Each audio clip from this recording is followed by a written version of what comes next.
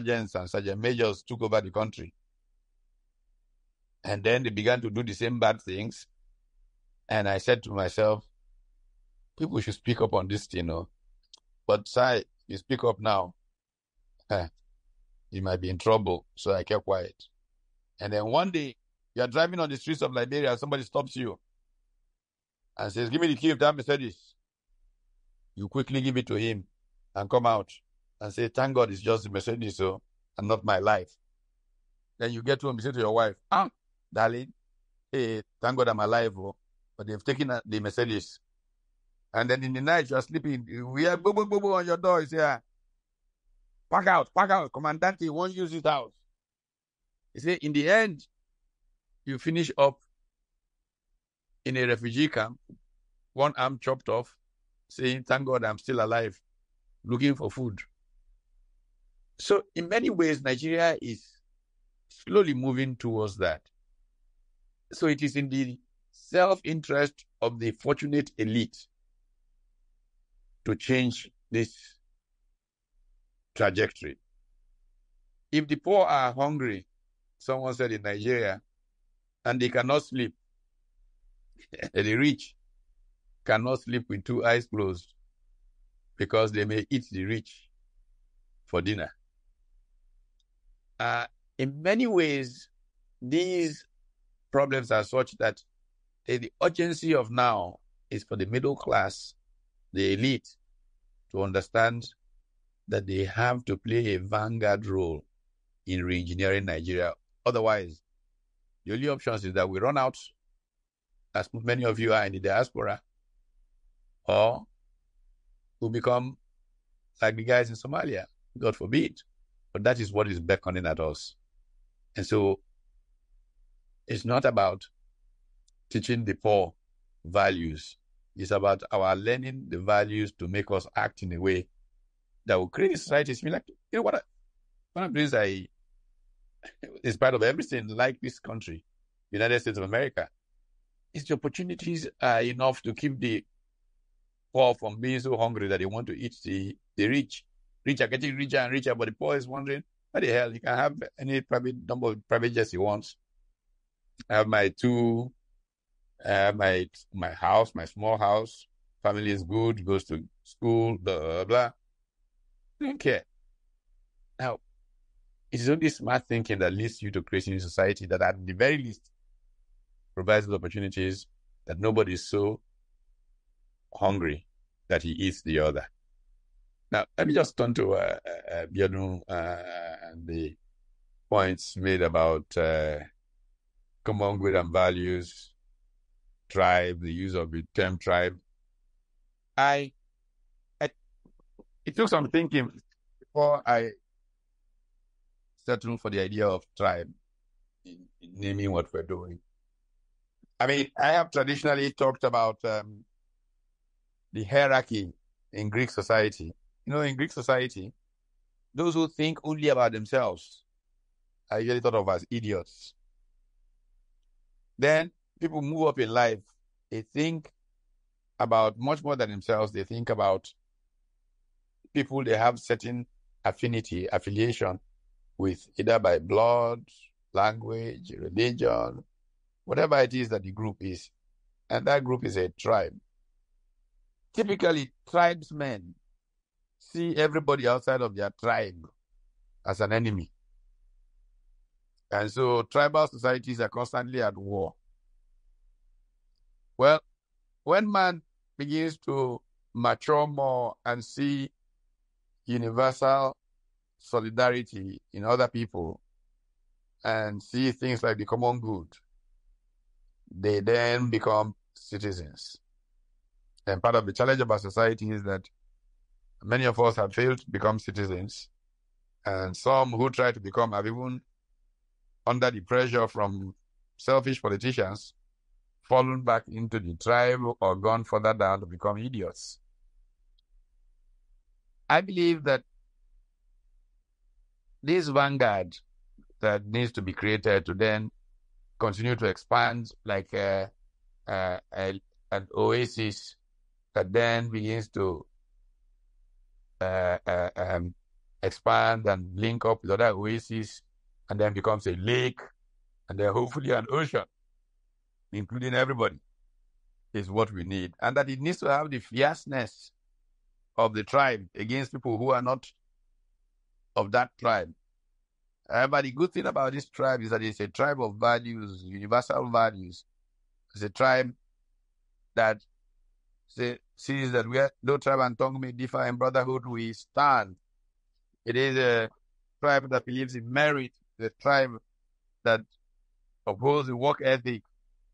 Uh, that tribe is needed to support the new Nigeria. Others will see them, love them, and join them. Very importantly, the world will see that tribe and say, okay, there are people we can deal with in Nigeria. I mean, the trust level for Nigeria and the world is very, very low. And yet, we produce 70% of the doctors of color in America. We are perhaps now the uh, most wealthy nationality group in North America, uh, uh, and, and all of that. So it shows that the capacity to be top performers is in us. But somehow the abuse of leaders, of emotions in Nigeria prevents us from holding together and working well. So it is important to create this tribe that will prevent them from using divide and rule, divide and conquer. Um, you know about the idea of um, uh, uh, uh, whether we should move around names of states or whatever. I think that you know under the military, or the practice which I think has some merit, but it's not easy in a civilian arrangement. You can't you can't put that in the constitution easily. The military used to appoint people from other states as governors. I mean, uh, Ukiwe uh, was governor of Lagos. Um, Admiral um, Ndubisi Kanu was governor of Lagos. Uh, Buba Marwa was governor of Lagos. Vice versa. So where people posted around to states that were not their states. Uh, perhaps there is some merit in it in making people realize that we are all the same. Even universities, there the time vice chancellors were deliberately taking from other parts of the country. Today, you need they are now fighting that the vice chancellor must come from your state. In uh, UNN, uh, has to come from one village in Nsukka, all kind of silly things that are now defining even academia in Nigeria. Um, and so, if we had a culture, a culture that's very merit driven, I mean, nobody will ask what state does this VC come from. They will ask, is he the most capable, the most qualified person to be vice chancellor of this university? Uh, but the next and very uh, uh, important and somehow nuanced issue of conversation that came out of Abiodun's uh, is the business of indigeneship. I mean, those of you who live in America here know that if you ask an American what's his state of origin, he will think you are crazy. you know, you move to a state and pay tax there for two years, that becomes your state. Okay. The the Bushes, the Bushes, uh, uh, there was a time I think two or three of them were like governors in different states. Mm-hmm. One in Texas, one in Florida. Florida yeah. And they started out from uh, their father started out from uh, Boston area, uh, Maine? Yeah. So I don't know why somebody would live all his life. He was born in Jos. He's 78 years old. He has paid taxes all his life in Jos. And you wake up one day and say, ah, look, my friend, you are not a plateau person. It's going to take obviously political will and good leadership to change those kinds of elements of culture. But it is important to get to those things. Um, look, as a nine year old, my first language was Hausa. As a nine year old, My first, very first language. I mean, I, I didn't speak my native tongue, as they say in Nigeria. And I could travel, and I did travel from Gusau to Onitsha unaccompanied as a nine year old. And you could go up to an older person and say, What should I do? Change training. Kaduna, get to Enugu, change to a bus, get to Onitsha, take the entrance exam, and head all the way back to Gusau with no problem. Today, a 24 year old man is going to do youth corps in Abuja from Lagos. His mother will accompany him. That's what has happened in our country, and we need to change those things. All right. Thank you very much, sir. So uh, let's quickly move to Shiju and Femi. Femi, if you're there, Shiju, if you're there, let's make it fast so that we can go to solutions proper. And Dr. Rade is waiting. So maybe we should just take the three of you together because you're the last three. So let's start with Femi, then Shiju, then Dr. Rade. Femi, are you there?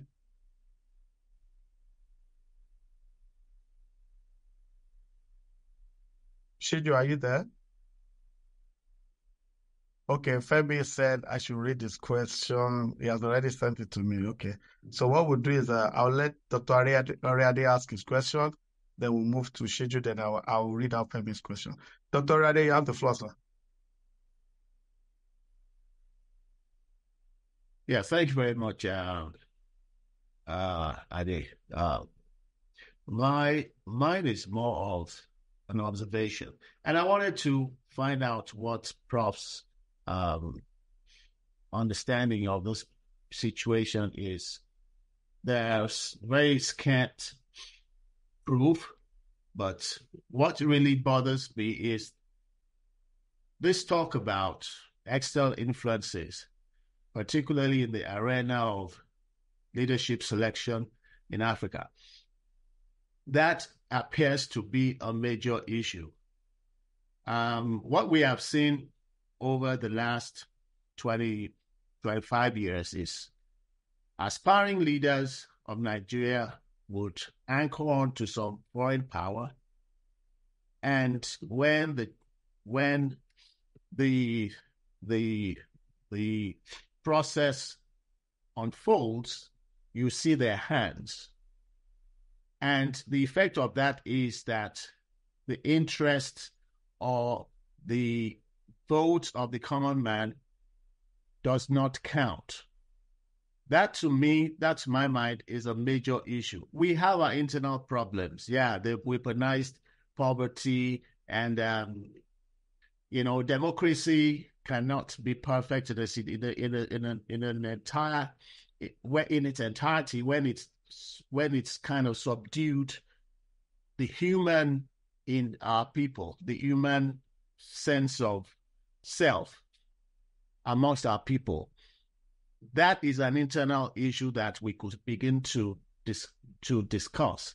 But what is your opinion about the influence of foreign powers in our leadership selection process? If we do not manage that, I guess whatever other efforts we're putting into that process may not work my I, I see leadership in Nigeria in the mode of, yeah, like you put it, everybody's just looking for a way to survive beyond office. They want to ac- accumulate as much as they can so that future generations do not suffer what they think they have suffered when they were growing up and things like that. This uncertainty about life after service that has put a lot of pressure on some of these leaders. But if we can now, like Dr. Uh, Ibe, I think it was Dr. Ibe who said, who, you know, gave um, an analogy of, okay, the where somebody's drowning and you're talking, you're telling him about values, he may not catch fire, he may not, you know, he, he may not understand what you're talking about.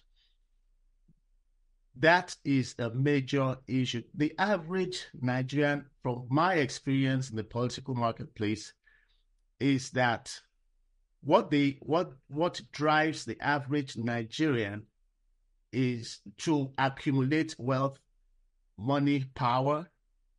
is just to oppress other citizens, to have to operate from a higher pedestal and be seen as a demi as, as, a demigod. That goes to a very, very deep level in our culture. We've discussed culture today. Now, where the average Nigerian appears to have lost the capacity for critical thinking, and we're talking about democracy, the power to exercise the choice of selecting a leader depends heavily on the capacity to think. Mm. I am an unofficial Obidient. And the only reason I went for that choice was because Obi demonstrated a deep understanding of the need to build the person. When people have been given the power to make the right choices wherever they are, it's easier to galvanize them and drive them in the right direction. Unfortunately, that is not happening in our country. I think that is something we have to focus on. The first thing is now, how do we eliminate foreign influence in our leadership selection process? And two, how do we empower the man at the grassroots who is going to cast their vote to be able to think critically beyond all other influences, primordial sentiments, monetary inducements. They put everything aside and say, hey, I should see beyond this, this election. If I make a wrong choice, I will face the consequences of such wrong choice. Now, those will be the areas I think we must primarily focus. How can we empower the average voter? And I, I, am ready to run with any brilliant. This idea of having this new tribe is brilliant, but I still don't see the nexus to have to be able to influence the critical mass of Nigerians to make the right decisions when the time comes. Because elections still, you know, as much as we say democracy is good and it's the best uh, process to select your lead your leaders, it still boils down to the capacity of the average voter to make the right choices. And right, you could say, is relative. What is right to me may not be right to you. But if that man who has the franchise only cannot see beyond tribe, cannot see beyond immediate hunger, how do we make that move? How do we make that shift? Uh, let me stop there for now. Okay. Uh, thank you very much, Doc. Uh, so let me just tell Prof what Femi's question is. Uh, he wants to know because there's a lot of confusion in the diaspora too. People really don't know what they are trying to do. Some people mean well, but there's always argument here and there. So he wants to know how there can be diaspora collaboration. And his reasons are not fetched. You that you you've spoken so much about Asia, India as a focal point. You've traveled, you've traversed the Asian you know, countries, Malaysia, Indonesia, and all that. So you always say that, look, these guys have done it, we can do it. Do it. That is their diaspora. So what exactly is expected from the Nigerian diaspora contingent, specifically America, North America, Canada, North America? That's why. Uh, Dr. Shiju is in UK. You know, it's election time. She's a member of the Conservative, so they are moving around out. so so those are the two questions. That's why we end. up. When you finish that, we can now you can now summarize on the solution way forward. Then we'll give you a vote of thanks. Okay. Well, thanks. Uh, uh, let me begin with um, the question about uh, foreign influence. Um, first of all, the whole idea of international relations is about the maximization of power in the arena. So every country tries to position itself to up its own benefits in the relationship with with others. Uh, and um, it should not be a surprise that powerful nations try very hard to exert some influence to be sure that people sympathetic to their interests are in power in less powerful countries so that they support them in different ways, vote for them at the UN, and this and this and this and that. But it is our duty to say to them and say to ourselves that what is the most important is our self interest. And that we, you know, do not accept that they interfere in our internal affairs. They will try. Believe me, they will try. Uh, but if they see that we have an elite that is challenging them, in fact, just talking about the fact that they're trying to inter- intervene, interfere, they will back off because they don't want to be seen to do it, even though they are, they would like to do it. And we have a, a remarkable and interesting example of Senegal right now. You know, one of the uh, narratives that our politicians use to uh, fence out good people who want to run for office is ah, you know, that man is just an intellectual. He has no experience. And what we call experience is what has kept us where we are. In fact, we should abolish experience if, if what we have is what experience can get you. We should make sure that nobody who runs for office has experience. But you see, a young man who has never held public office makes a claim for a new Senegal and captures the imagination of the people. And the incumbent tries to do everything, delay the election, do, but the people put pressure. And they go to the polls and he wins. Now, why can Nigeria not do what Senegal did? Of course, there are different ethnic groups in Senegal. They can all go into this tribal war thing that uh, we say is the divide and rule. That so we need a group that can capture the imagination of people like this tribe in such a way that sensitivity to the damage of the quote unquote experienced people of yesterday is uh, uh, uh, turned on his head for the citizenry. A new narrative that says, but the problem is experience. All these people are experiencing is in sharing money. We want new thinking. And so it's still left to us, no matter what happens. It's not about the foreign powers, about us and how we deal with them, uh, really. If we mobilize powerfully, and this is why I keep giving the example of um, countries uh, that the diaspora have played a noted role in liberating. They live in countries where they experience certain things, they see it, and their own is not going that way. So you know that if diaspora groups here, you know, let's say the Oyo in diaspora get together and say, look, we're tired of these kinds of people that go into the assembly. Let's forget governor now, state assembly.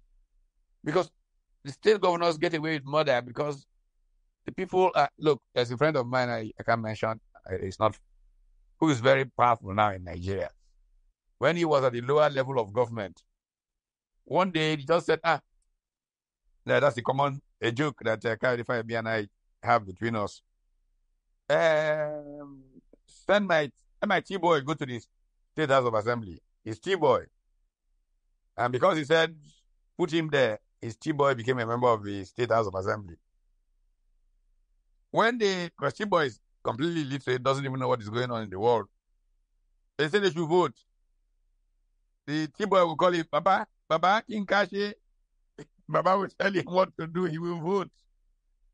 And so if the Oyo diaspora say we must ensure that the house is populated by retired generals, retired vice chancellors, retired permanent secretaries. Those are the only kind of candidates will accept. And you don't even wait for them to say they're interested because they will say they're interested because they don't want the ruffle fight that goes with the business. You send a delegation. Ah, uh, Professor Femi Bamiro, come, come, come. We want you to go to the state house. We beg you to do this for us as, and you get a number of such people. Governor won't mess about. Most of those people were probably his teachers, were his bosses, were his parents, colleagues. He's going to be very respectful and behave properly as governor. But when you get all these fellows, so um, I believe that it is with us, not with the foreign uh, uh, powers that are looking to put. In fact, it's their interest to get the worst of us. I mean, you've heard of the concept of a kakistocracy, ruled by the very worst. Very, you know, and, and, and that's the interest of the foreign power. They don't care whether Nigeria does well.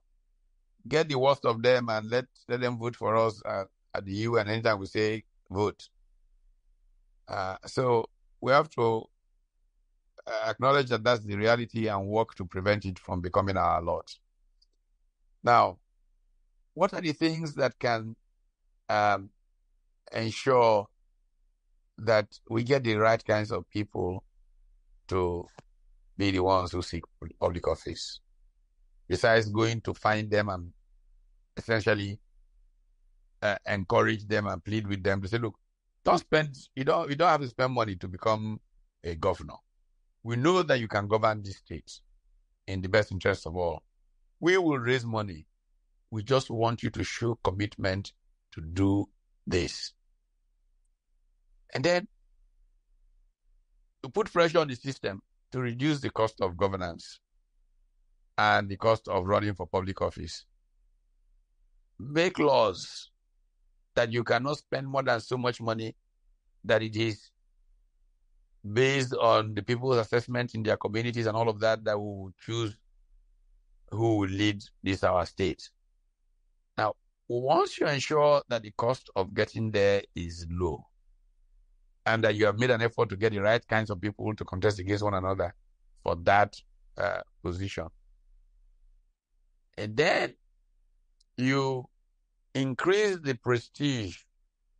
You know, one of the problems of politics in Nigeria, why politics is so attractive to miscreants, is that the centers of prestige in Nigeria have vanished. Seems like the only center of prestige as worth anything is being a political uh, actor.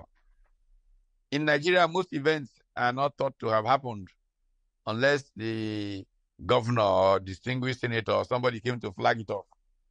So you have all these people running from one event to the other and not governing. They have no time to govern. But if we, like in India, the prestige of the MP is balanced by the prestige of the PAMSEC and by the prestige of the general. And so if there are so many centers of prestige, and the man who is general doesn't care about being a politician because the prestige of being a general sometimes is much higher than that of being an MP. Then you, you know, have people who go into public life spending very little money and who do not feel that they are the only game in town, so the, the snobbery of power is reduced. Uh, uh, I always tell the story of my early years, I used to travel quite a bit to Nairobi in Kenya back in the in the eighties. I had a good friend who was who's passed on now, was a famous Kenyan mathematician and journalist. Published a newspaper. I used to write a column in Music magazine uh, back in those days. My turn, and uh, we would sit in the Thorn Tree Cafe of the uh, New Stanley Hotel in Nairobi MPs will come in, ah, they will greet him, and uh, you know, say to drink a cup of tea. This, this, this. He, he, he saw that Kenyan MPs did not see themselves as some potentate as Nigerian MPs see themselves. You know, uh, um, and then uh, uh, uh very importantly, one thing to do to neutralize this politics of uh, uh, the big man is what South Korea did. South Korea used to have money bag politics until the South Korea Electoral Commission. And this is why the tragedy of having people like uh, uh, Yakubu really comes home. Electoral Commission in South Korea decided that the path to elections is the debate. So you're running for office in South Korea, you must go through so many debates in the classrooms, in the gyms, in the on TV. By the time you've done five, six, seven debates, you are forced to discipline yourself to find the issues.